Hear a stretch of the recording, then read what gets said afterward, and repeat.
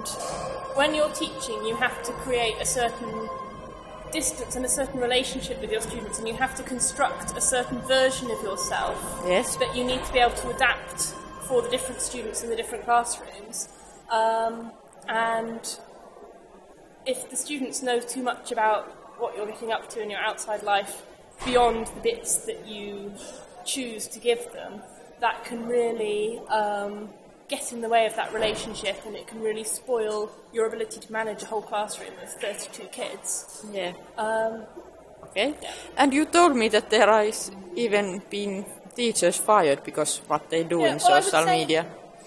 most of the ones I've heard of is not so much fired as that they've lost their jobs. Yes. And I know that sounds like a, a weird distinction, but it's because there have been teachers who, because of things they did in their lives before they started teaching, or because of things they said on Facebook and other places on the internet, um, forgetting that it wasn't as private as maybe they thought it was, or that their friends' privacy settings weren't as private as they thought they were, because you know how these things spread out Yes. um, that this got back to the kids and it got back to the parents and it developed a situation where they really couldn't teach their classes.